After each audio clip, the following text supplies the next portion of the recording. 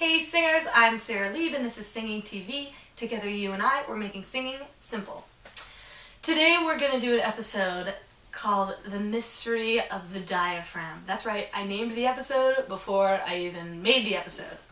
Mystery of the Diaphragm. And the reason um, I want to talk about this is basically because every person I've met who's ever come into this studio pretty much, I think I can go with like 100%, has said, if I say, okay, what do you know about breathing for singing? They say, well, you're supposed to use your diaphragm.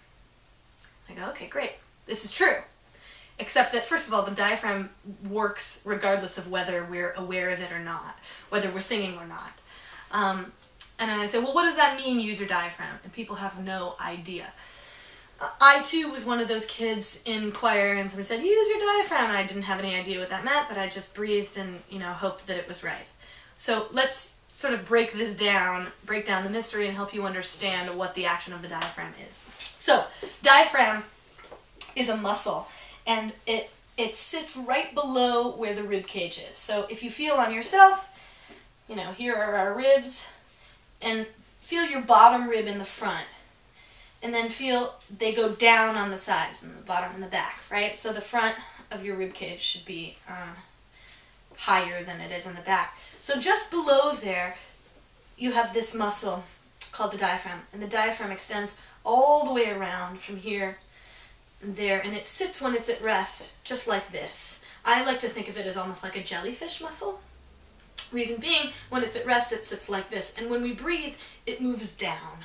Regardless of whether we're breathing for singing or not, it doesn't matter. It does, it does this action.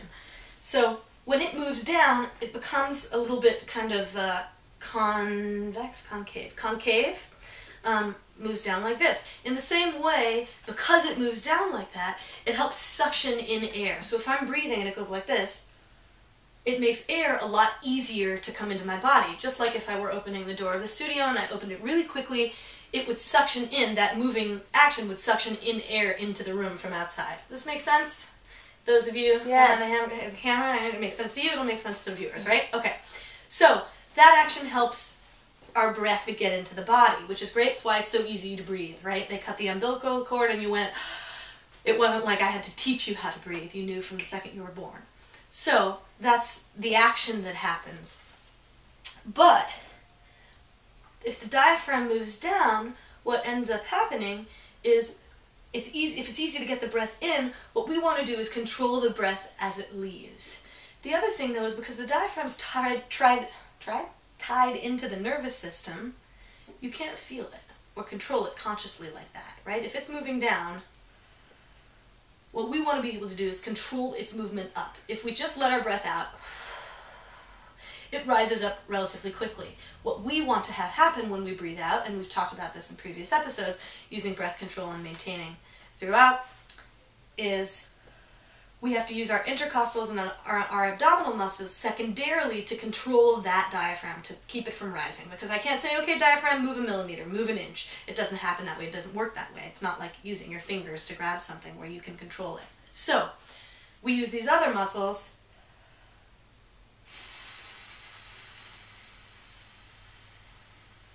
to control the movement of the diaphragm so it rises up slowly so that we don't let our air out all at once. That's what the diaphragm does.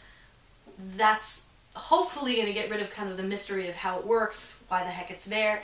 And of course, as you should know from previous episodes, when we use those intercostals and abdom abdominal muscles, we don't want to go tense them up really, really hard in order um, to keep the diaphragm from rising, but we do have to engage them. So it shouldn't be like, right, so that all your other muscles um, become engaged and get tense. It should just be like just enough